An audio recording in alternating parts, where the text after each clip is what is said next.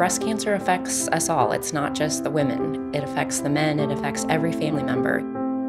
There's a lot of fear, especially with having lost my mother and then my grandmother on my father's side. When people think of cancer, I think everyone has a different story. We have made enormous progress in the treatment of breast cancer, but that's not good enough. There are 35,000 women a year in the United States alone who are still dying of breast cancer. Until that stops, we have to do better. Every woman just wants to do their best in taking care of themselves, but the advice that they're hearing is confusing. Even providers don't know the best advice to give their patients. Athena is a collaboration by the University of California Medical Centers to really change the way we screen, prevent, treat, and manage the survivorship of all women with breast cancer.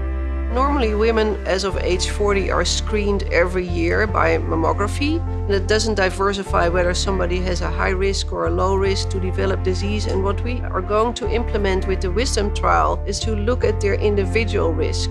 There are many women, their risk is so low that screening actually will do more harm than good.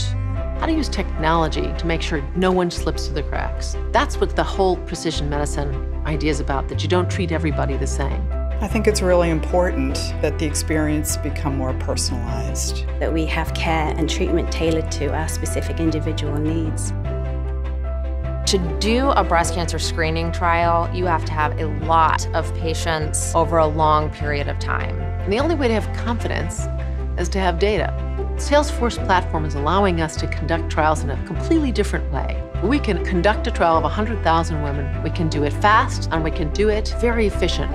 Until now, we've not had the tools to really capture that data, analyze it, and then apply it to the real world to making progress for a better future. What's really interesting, if you really focus on that for a second, you think, okay, there's Salesforce, you're trying to optimize your sales and your marketing, and you're trying to be precise about how you target. That's really not that different from targeting therapy to the right people.